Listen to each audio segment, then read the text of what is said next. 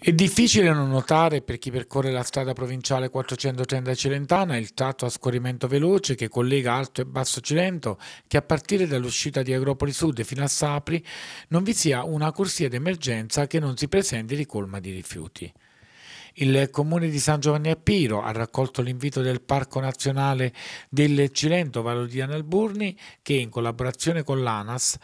ha invitato i vari comuni a fare un'azione di bonifica delle piazzole in relazione alla propria appartenenza geografica. Abbiamo avuto ai nostri microfoni il vice sindaco Pasquale Sorrentino di San Giovanni a Piro, il quale ha aderito in prima persona ed in collaborazione con associazioni alla bonifica delle varie piazzoli adiacenti nel tratto di Celentana che ricade nel proprio comune. Il Comune San Giovanni a Pira ha aderito eh, con le associazioni come eh, Sentieri del Cilento e con eh, il progetto del servizio civile a questa opera di bonifica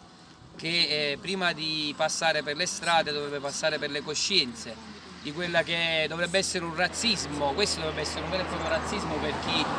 forma, per chi esercita questa forma di violenza e non merita di appartenere all'unica razza al mondo che è quella umana. Come vedete c'è buttato di tutto in questa superstrada e non può essere questo un biglietto da visita per chi viene a visitare il territorio del parco e dell'area marina protetta. Quindi l'invito è che ognuno di noi faccia la propria parte partendo dal proprio territorio e non dimenticandosi che quello che abbiamo è un mondo in prestito.